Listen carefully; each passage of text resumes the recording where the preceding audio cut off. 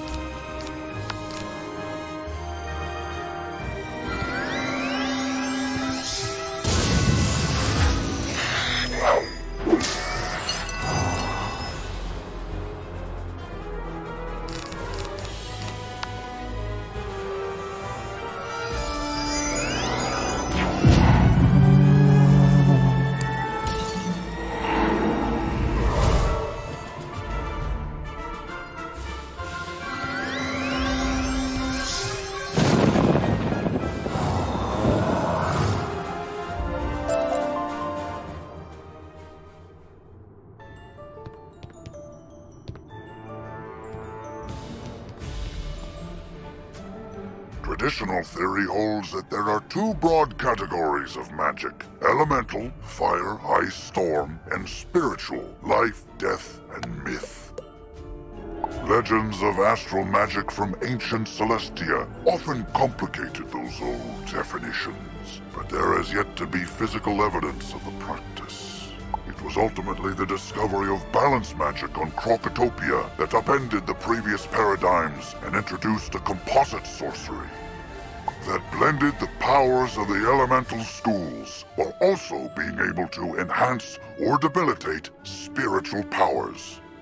Today, balance is considered one of the core seven schools of magic, but many institutions have yet to fully incorporate it into curricula.